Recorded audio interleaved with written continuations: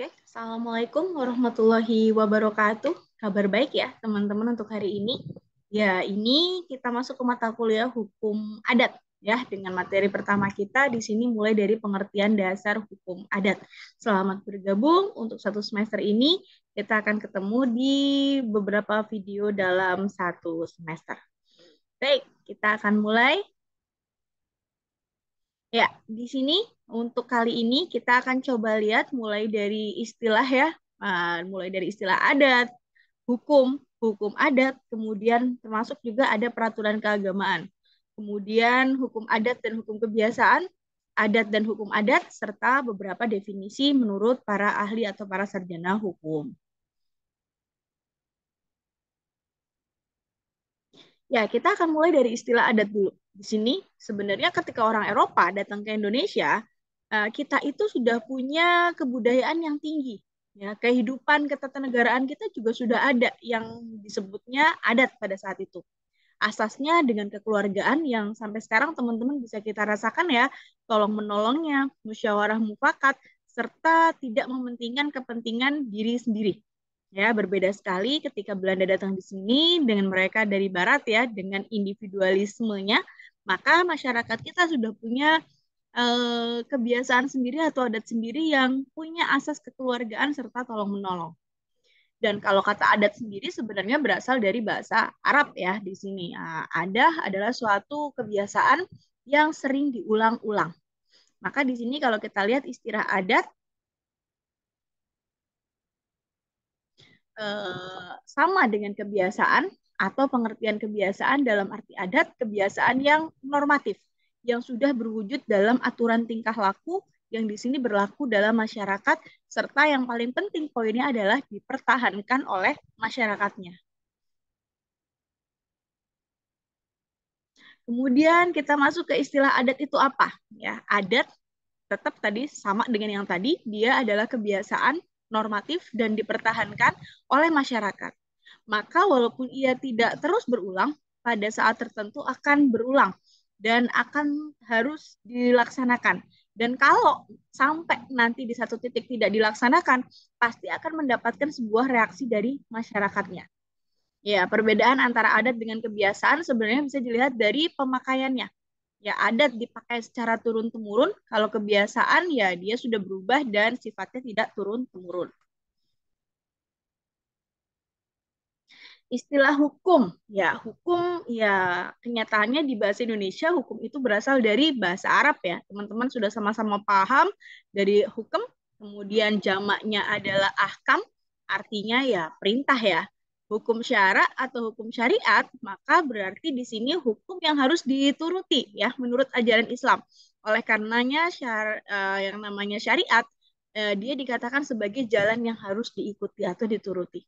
Ini di sini ada aksamul khomsah ya teman-teman sudah hafal kalau di hukum Islam ya kita mengenal ada uh, halal, haram, makruh ya, mubah ya, subhat dan seterusnya ya lima itu ya. Nah cuman di sini masyarakat Indonesia uh, awalnya di sini dia memisahkan uh, antara pengertian hukum dengan pengertian adat.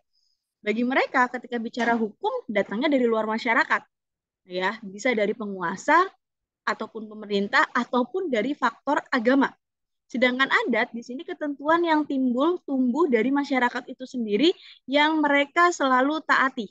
Ya, jadi di sini bedanya kalau bicara hukum ya kaitannya entah itu hukum dari agama ataupun hukum pemerintah. Tapi kalau adat ya timbul aja dari masyarakat, tapi mereka di sini uh, akan selalu mentaati.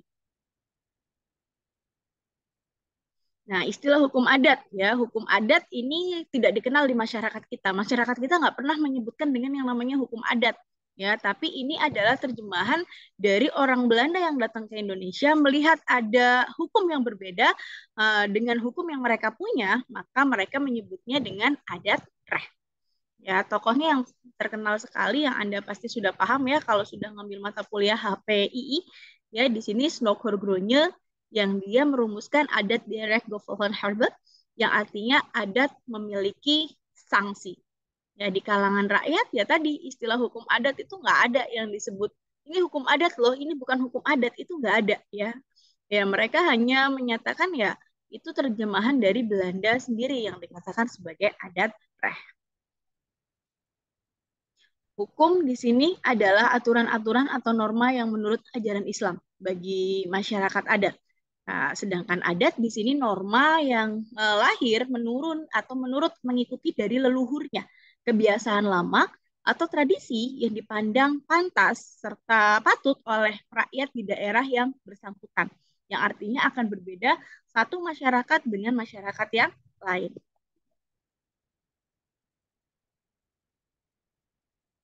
Nah, istilah hukum adat di sini kita ngambil lagi dari Snokhorgronya ya, kemudian dia diambil alih sekaligus dipopulerkan oleh selanjutnya oleh uh, Van Vollenhoven ya. Kalau kita bicara hukum adat pasti nggak jauh-jauh dari tokoh ini ya. Dia istilah adat reh dia baru menyatakan sebagai istilah teknis yuridis.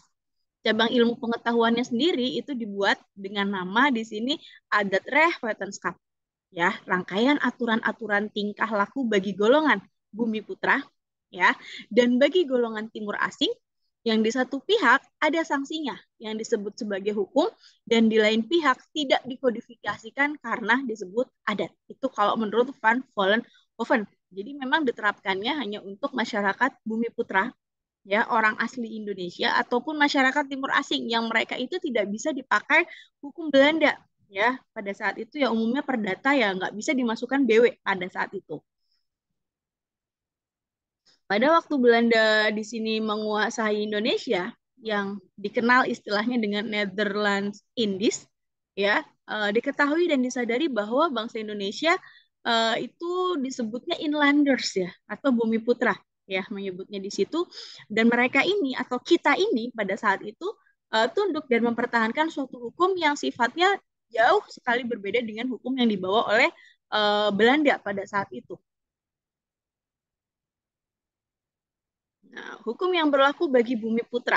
Ya, jadi uh, hukum adat maka mau nggak mau harus diperlakukan atau tidak bisa loh memaksakan yang namanya uh, konkordasi ke semuanya tidak. Tapi bagaimana hukum ini tetap diberlakukan khusus bagi kalangan bumi putra. Di sini ada beberapa aturan hukum yang dikeluarkan Belanda yang mengakui atau istilahnya memasukkan unsur yang namanya hukum adat.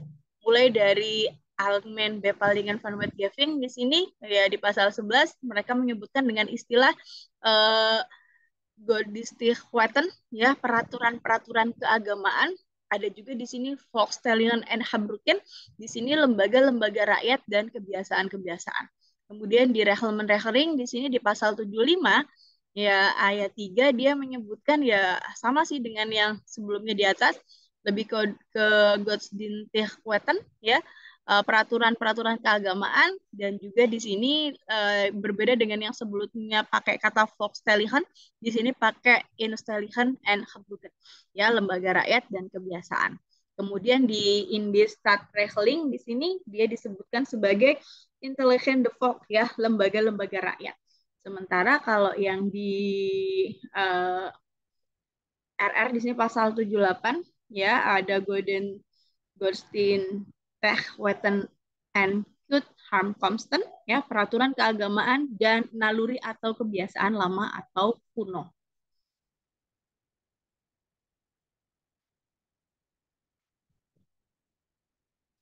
Ya, kemudian istilah hukum adat.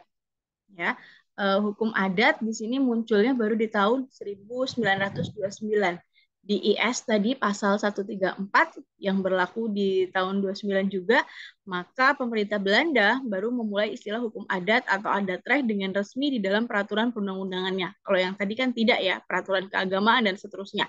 Ya, tadi disebutkan dia pakai peraturan keagamaan. Dan di sini mereka uh, atau teori yang muncul adalah teori receptio in complexum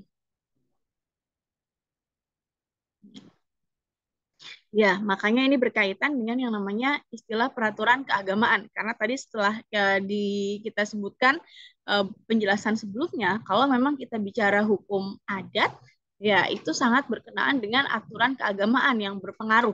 Ya, makanya tadi ada teori receptio in complexu.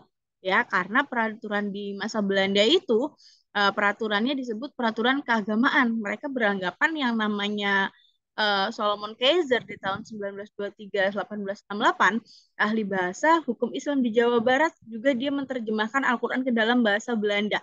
Ya, dan teori ini dikembangkan atau dikuatkan oleh Van den Broek. Jadi yang namanya hukum adat ya hukum agama atau hukum yang berasal dari agama ya teori receptio in complex.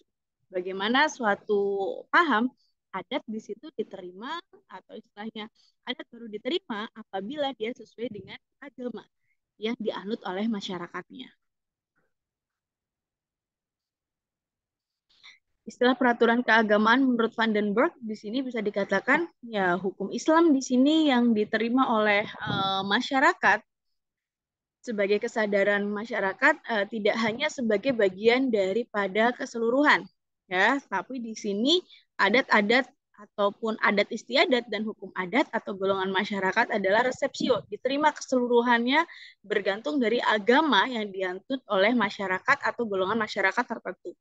Jadi di sini hukum adat, suatu golongan masyarakat, hasil penerimaan secara keseluruhan atau secara bulat-bulat dari hukum keagamaan yang dianut oleh golongan masyarakat itu.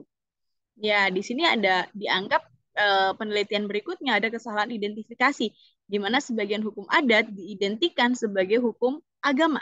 Khususnya ya karena majoritinya ketika mereka datang ke sini adalah agama Islam, ya di sini agama Islam yang memang banyak dianut dan menyamakan atau mengidentikan yang namanya hukum adat ya sama aja sih dengan yang namanya hukum agama.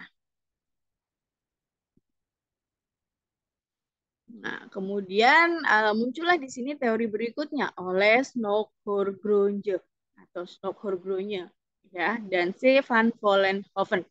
Ya, agama Islam uh, bagi pendapat ini hanya terbatas mengenai hal yang berhubungan dengan kepercayaan dan kehidupan kebatinan. Ya, dan di sini mereka men menyebutkan teori sebagai lawan dari receptio in complexu, yaitu teori resepsi, ya, teori konflik atau resepsio. Hasil penelitian terhadap orang Aceh dan Gayo yang pertama, antara hukum Islam dan hukum adat, dua unsur yang sebenarnya antagonistik atau saling bertentangan. Hukum yang mengatur tata tertib masyarakat bukan hukum Islam, tapi sebenarnya adalah hukum adat.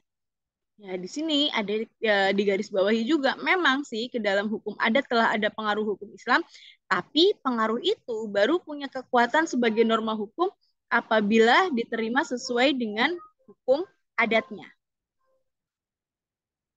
Teori ini kemudian dikembangkan oleh Terhar, ya tol, titik tolaknya dari teori resepsio yang menentukan apakah hukum Islam berlaku di masyarakat ditentukan oleh hukum adat.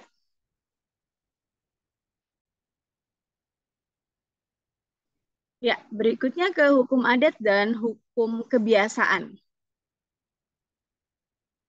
Ya, adat kembali ke yang tadi ya, diterjemahkan ke bahasa Indonesia, ya umumnya kebiasaan. Terus apakah hukum adat itu sama dengan hukum kebiasaan? So, kita akan bahas bersama. Ya, kita mulai dari pendapatnya Van Dijk. Ya, bagi Van Dijk di sini uh, tidaklah tepat kalau menerjemahkan adat reh menjadi hukum kebiasaan untuk menggantikan yang namanya hukum adat. Karena yang dimaksud dengan hukum kebiasaan adalah kompleks dari peraturan-peraturan hukum yang tumbuh karena kebiasaan Artinya apa? Karena dia telah demikian lamanya, orang tidak bisa bertingkah laku menurut suatu cara tertentu. Sehingga timbullah suatu peraturan kelakuan yang diterima dan juga diinginkan oleh masyarakatnya. Sedangkan apabila orang mencari sumber yang real atau yang nyata dari mana peraturan itu berasal, maka hampir semestinya akan ditentukan oleh suatu alat perlengkapan masyarakat tertentu dalam lingkungan besar ataupun kecil sebagai pangkalnya. Sehingga antara hukum adat dan hukum kebiasaan menurut Van Dijk di sini ada perbedaan. Perbedaannya itu di mana? Nah, di sini hukum adat dan hukum kebiasaan itu uh, beda pada sumbernya. Artinya di sini sumber hukum kebiasaan itu tidak bersumber dari alat perlengkapan masyarakatnya, tapi dari masyarakatnya sendiri.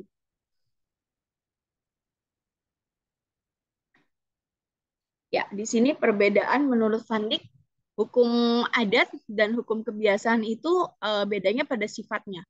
Kalau kebiasaan sepenuhnya dia tidak bersifat tertulis, tapi kalau hukum adat ada ya yang tertulis walaupun banyak juga sih yang nggak tertulis tapi ada. Tapi kalau kebiasaan sama sekali tidak ada yang tertulis. Kemudian antara adat dan kebiasaan dapat dilihat dari pemakaiannya. adat dia dipakainya secara turun-temurun, tapi kalau kebiasaan relatif mudah berubah dan tidak turun-temurun. Kalau yang menyatakan hukum adat itu sama dengan hukum kebiasaan, eh, di sini diartikan yang namanya kebiasaan dalam arti adat, di sini kebiasaan yang normatif, yang telah terwujud dalam tingkah laku di dalam masyarakat, serta dipertahankan oleh masyarakat itu. Maka adat di sini bisa dinyatakan sebagai kebiasaan yang normatif, yang dia dipertahankan oleh masyarakat, maka walaupun ia eh, tidak terus-menerus berulang-ulang, pada saat-saat tertentu akan berulang dan harus dilaksanakan. Konsekuensinya apabila nggak dilaksanakan akan menimbulkan yang namanya reaction atau reaksi dari masyarakatnya. Landasan hukum adat sama dengan hukum kebiasaan. Ya, kenapa sih jadi sama ya? Kalau Fandik tadi bilang beda, tapi yang mengatakan ya sama. Karena apa? Istilah atau kata adat kalau diterjemahkan ke dalam bahasa Indonesia ya adat means kebiasaan. Uh, adat di sini dapat diterjemahkan menjadi hukum adat ataupun hukum kebiasaan. Ya, di sini memang uh, di dalam proses pelaksanaannya hukum ini sering dikuatkan oleh atau melalui alat kelengkapan masyarakat. Tapi tidak semua aturan di sini akan bersumber atau punya sumber dari perlengkapan masyarakat itu. Kalau di Inggris kan sih kita lebih mengenal dengan istilah customary law ya atau hukum custom, kebiasaan hukum adat. Lalu kemudian adat dan hukum adat. Ya, kalau kita merunut dari awalnya, ya kita akan lihat. E, secara individu, eh, manusia itu akan ada rasa atau naluri untuk hidup bersama. Artinya sangat jarang sekali orang yang ingin hidup sendiri seintrovert apa pun orang, dia pasti menginginkan uh, hidup bersama orang lain. Nah, maka dia menimbulkan yang namanya hasrat untuk melakukan hubungan atau bergaul. Yang menciptakan yang kita gampangkan ketika itu terjadi, maka disebut sebagai social interaction atau di sini interaksi sosial yang dinamis pastinya.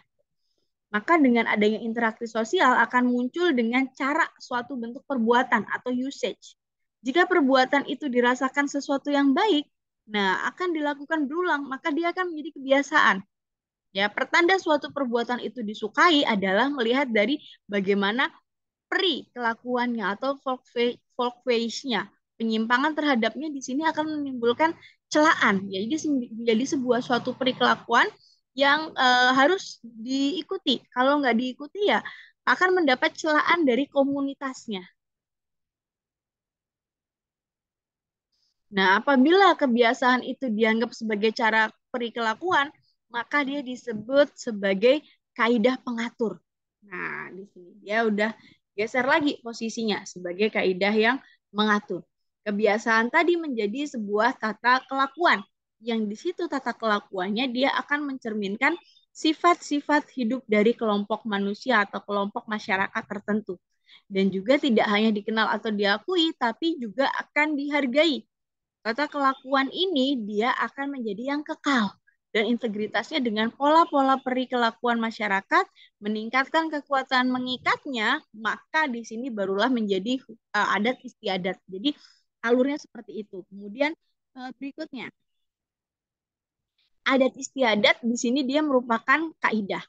Dia nggak hanya dikenal, diakui, dihargai, tapi juga poin pentingnya adalah uh, dia ditaati punya ikatan pengaruh yang kuat dalam masyarakat dan yang paling utama dia diakui masyarakat karena dianggap memiliki nilai keadilan atau punya pangkalnya berasal dari keadilan. Jadi di sini tidak semua adat merupakan hukum. Kapan dia menjadi hukum adat? Ya adat-adat yang tidak dikitabkan atau tidak dikodifikasikan ada sifat memaksanya dan punya sanksi tertentu serta memiliki yang namanya akibat hukum ya. Jadi sampai sini dari mulai hasrat manusia untuk tinggal bersama sampai berakhir muncul yang namanya hukum adat. Kalau menurut Van Vollenhoven, hukum adat itu apa? Ya hukum adat diterangkan sebagai keseluruhan tingkah laku yang mengatur tingkah laku manusia dalam kehidupan masyarakat merupakan adat sekaligus mempunyai atau memberi sanksi bagi siapa saja yang melanggarnya Dan yang penting tadi sama seperti hukum yang sudah Anda pelajari, dia ada upaya paksa. Ya. Uh, kemudian di sini aturan tingkah laku yang mengatur kehidupan manusia. Ada aturan tingkah laku itu yang pasti harus ada sanksi, ada daya paksanya, kemudian memberikan sanksi kepada siapa yang melanggar aturan tersebut. Kemudian antara adat dan hukum adat masih sama menurut Van Vollenhoven ya. Ya, adat aturan yang mengatur tingkah laku manusia, hukum adat yang mengatur tingkah laku manusia bagi siapa yang melanggar aturan tersebut akan uh, mendapatkan yang namanya sanksi dan sanksi itu bisa dipaksa. Persamaannya sama-sama mengatur norma tingkah laku manusia dan sama-sama punya sanksi. Perbedaan antara adat dan hukum adat, kalau adat sanksinya nggak dipaksakan, tapi kalau hukum adat sanksinya sangat mungkin untuk dilakukan pemaksaan. Ya, perbedaannya lagi di sini antara adat dan hukum adat. Kita mulai lihat dari Mr. Supomo. uh, hukum adat di sini hukum yang tidak tertulis dalam peraturan-peraturan legislatif atau non statutory law ya meliputi peraturan hidup meskipun nggak dikodifikasikan uh, oleh yang berwajib tetap dihormati dan didukung oleh uh, masyarakatnya berdasar keyakinan bahwa peraturan tersebut punya kekuatan hukum. Bila seorang hakim menghadapi kenyataan bahwa ada aturan tingkah laku yang masyarakat dianggap patut dan mengikat warga masyarakat serta ada perasaan umum bahwa peraturan itu harus dipertahankan oleh para pejabat hukum, maka dia bersifat hukum menurut Hollenhoven. Kalau Holman eh, bahwa kaidah eh, hukum merupakan kaidah kehidupan yang disertai dengan sanksi dan jika perlu dipaksakan oleh masyarakat atau badan yang berwenang agar supaya diikuti serta dihormati oleh para warganya.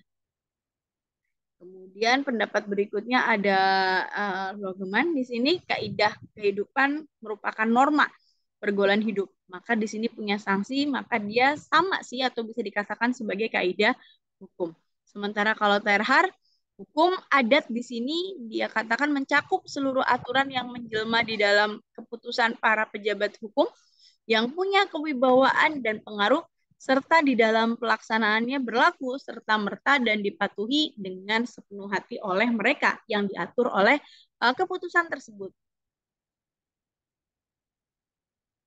Ya, kemudian kalau menurut Paul Bohanan seorang antropolog di sini dia membedakan menjadi empat ya. Uh, ada yang disebut sebagai attribute of authority, attribute intention of universal application, kemudian ada attribute of obligation, kemudian attribute of sanction. Ya, ketika kita bicara yang namanya attribute of authority, wewenang, ya aktivitas kebudayaan yang disebut hukum itu ya tidak lain adalah keputusan melalui mekanisme yang diberi oleh uh, kuasa atau punya pengaruh dalam masyarakat. Sementara kalau uh, intention di sini keputusan dari pihak yang berkuasa itu harus dimaksudkan sebagai keputusan yang punya jangka panjang dan harus dianggap berlaku juga terhadap peristiwa yang sama untuk akan datang. Kemudian obligation, keputusan dan pemegang kuasa harus mengandung rumusan-rumusan dari kewajiban pihak ke satu terhadap pihak kedua. Tapi juga hak dari pihak kedua harus dipenuhi oleh pihak ke satu. Kemudian attribute of sanction, ya keputusan dari pihak yang berkuasa itu harus dikuatkan dengan yang namanya sanksi dalam arti luas. Sanksi itu bisa berupa uh, jasmania, hukuman fisik, dan deprivasi dari milik, tapi juga merupakan sanksi rohani, ya kayak menimbulkan rasa takut, malu, benci, dan lain sebagainya. Oke, berikutnya kita masuk ke definisi-definisi dari hukum adat. Ya, menurut para ahli, kalau dari eh, Dr. Sukanto, hukum adat dia sebagai kompleks adat yang kebanyakan tidak dikodifikasikan, uncodified, dan bersifat paksaan, punya sanksi, juga mempunyai akibat hukum. Kalau yang Suripto, Profesor Suripto, semua aturan atau peraturan adat tingkah laku yang bersifat hukum di sela segi kehidupan oleh masyarakat Indonesia yang umumnya tidak tertulis oleh anggota masyarakat dianggap patut dan mengikat para anggota masyarakat yang bersifat hukum oleh karena ada kesadaran dan perasaan keadilan umum bahwa aturan-aturan atau peraturan-peraturan itu mesti ya nggak ada pilihan selain dipertahankan oleh para petugas hukum dan petugas masyarakat dengan upaya paksa dan ancaman hukuman tertentu. Ya, kemudian berikutnya di sini uh, menurut Suryo Wigno Dipuro suatu kompleks norma yang bersumber pada perasaan keadilan rakyat ya yang selalu berkembang serta meliputi peraturan-peraturan tingkah laku manusia adalah dalam kehidupan sehari-hari dalam masyarakat sebagian besar tidak tertulis senantiasa ditaati dan dihormati oleh rakyat karena punya akibat hukum ataupun yang disebut dengan sanksi. Uh, kalau menurut Van Vollenhoven lagi, definisi hukum adat itu apa? Ya mulai dari aturan-aturan kelakuan yang berlaku bagi orang pribumi dan orang-orang timur asing ya, yang tadi sudah kita bahas juga ada di Indistra uh, Stad Regeling ya untuk diberlakukan pada orang timur asing dan pribumi. Hukum adat di sini hanya berlaku bagi orang Indonesia asli dan orang-orang timur asing kayak Cina, Arab, India dan sebagiannya tidak beragama Kristen ya. Disebut hukum karena yang dimaksud adalah adat yang punya sanksi.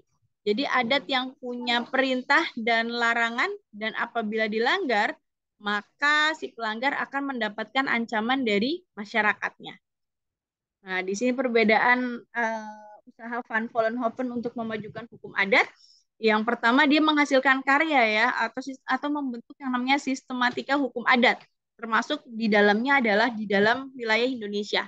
Kemudian menentang dan mematahkan usaha melenyapkan hukum adat dan yang paling terakhir adalah berhasil membina Korps Sarjana Hukum Adat yang akan melanjutkan pembinaan secara ilmiah dari pengetahuan tentang hukum itu sendiri.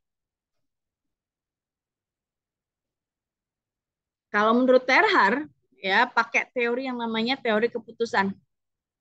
Beslisi Handler.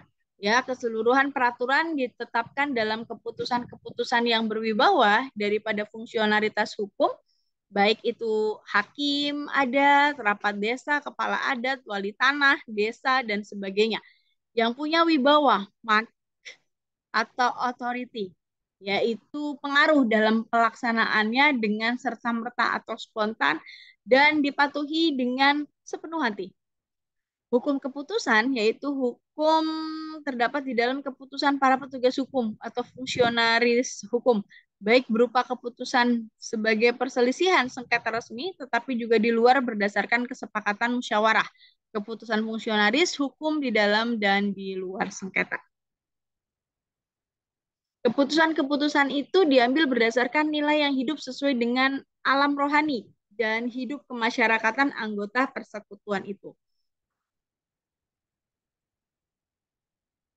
Perbedaan antara Terhar dengan Van Vollenhoven mengenai terjadinya hukum adat, ya uh, Van Vollenhoven menganggap hukum adat sudah menjadi hukum adat apabila adat itu sudah uh, seharusnya dituruti anggota masyarakatnya. Sementara kalau terhar, adat itu bukanlah hukum adat bila tidak diperintahkan dalam bentuk keputusan para pejabat atau fungsionaris hukum. Pada saat adanya keputusan-keputusan adat, maka pada saat mana adat itu menjadi hukum adat, jadi menurut Terhar, apa yang telah diputuskan saja menjadi hukum adat. Jadi di sini beda ya. Kalau yang uh, yang sudah hukum adat itu ya kalau sudah seharusnya dituruti oleh anggota masyarakatnya. Kalau terhar tidak, nggak hanya sekedar itu, tapi harus ada kekuatan yang lebih tinggi ya untuk uh, ngepush masyarakatnya mengikuti aturan adat tersebut. Ya, kemudian definisi hukum adat kalau ini menurut Supomo. Hukum adat, hukum non statu statutoir ya yang tadi udah dikatakan tidak tertulis ya. ya sebagian besar kebiasaan dan sebagian kecilnya adalah hukum Islam atau hukum agama tetap berpengaruh. Hukum adat melingkupi hukum yang berdasarkan keputusan hakim yang berisi asas hukum dalam lingkungan di mana ia memutuskan perkara. Ya, karena setiap daerah akan beda-beda adatnya. Jadi hakim di sini dibutuhkan eh, kemampuan lebih untuk bisa analis dan identifikasi hukum yang masih berlaku di daerah tersebut. Hukum adat berurat, eh, berakar pada kebudayaan tradisional. Hukum adat suatu hukum yang hidup karena jalan uh, karena ia menjelmakan perasaan hukum yang nyata dari masyarakatnya sendiri uh, sesuai dengan fitrahnya sendiri. Hukum adat harus terus-menerus dalam keadaan tumbuh dan berkembang seperti ya hidup itu sendiri. Kemudian kesimpulannya dengan di pasal 332 Undang-Undang Dasar Sementara 1950, hukum yang tidak tertulis di dalam peraturan legislatif sebagai unstatutory law, hukum yang hidup sebagai konvensi di badan-badan hukum negara, baik di parlemen, dewan provinsi maupun eksekutif, hukum yang timbul karena putusan perasaan hakim, judgment law, hukum yang hidup sebagai peraturan kebiasaan yang dipertahankan di dalam pergaulan hidup baik di kota maupun di desa, yang tadi saya sebut sebagai customary law. Hukum adat itu adalah suatu kompleks norma-norma yang sumbernya dari perasaan uh, adil di sini uh, dari rakyatnya, dia akan berkembang meliputi peraturan-peraturan tingkah laku dalam kehidupan sehari-harinya. Sebagian besar tidak tertulis senantiasa ditaati dan dihormati oleh karya karena mempunyai akibat hukum atau sanksi. Hukum adat di sini adalah hukum yang timbul di masyarakat atau disebut sebagai the living law hukum adat sebagai the living law, ya dia pola hidup masyarakat tempat di mana hukum itu berproses dan sekaligus juga adalah merupakan hasil dari proses kemasyarakatan yang merupakan sumber dari dasar daripada hukum itu. Landasan pokoknya di sini kesadaran hukum masyarakat yang dalam hal ini adalah masyarakat Indonesia. Ya, hukum adat senantiasa tumbuh dari suatu kebutuhan hidup yang nyata, cara hidup dan pandangan hidup yang keseluruhannya merupakan kebudayaan masyarakat tempat hukum adat itu berlaku. Oke, bagian terakhir di sini hukum adat sebagai uh, ilmu uh, sebagai bagian dari hukum, hukum adat sebagai bagian dari hukum Indonesia, dia punya corak yang khas, ya beda dengan sistem hukum yang dianut di Barat. Sekaligus hukum, sekalipun hukum adat di sini uh, sifatnya tradisional, bukan uh, yang berarti sangat terikat dengan tradisi yang lama warisan dari nenek moyang, tapi nggak berarti juga kalau hukum adat itu uh, pen, pantang untuk berubah. Hukum adat di samping sifatnya tradisional juga mempunyai corak dapat berubah dan mempunyai kesenggapan untuk uh, menyesuaikan diri atau plastik. Sekali air gadang, uh, sekali tepian beranjak, sekali raja berganti, sekali adat berubah. Itu salah satu yang dipakai di Minang, yang artinya uh, sekali air meluap, ya tempat pemandian bergeser, uh, sekali raja berganti, maka sekali pula uh, adat berubah. Yang terakhir di sini bisa kita katakan hukum adat di Indonesia tidak lain adalah living law atau hukum yang tinggal di masyarakat yang dia akan hidup berubah, dapat menerima perubahan dan menyesuaikan dengan kehilangan masyarakat modern sekarang ini. Oke, baik sampai sini ya saya cukupkan materi pertama kita tentang pengantar hukum adat. Uh, selamat belajar dan meresu materialnya sampai ketemu minggu depan. Baik, terima kasih semuanya. Wassalamualaikum warahmatullahi wabarakatuh.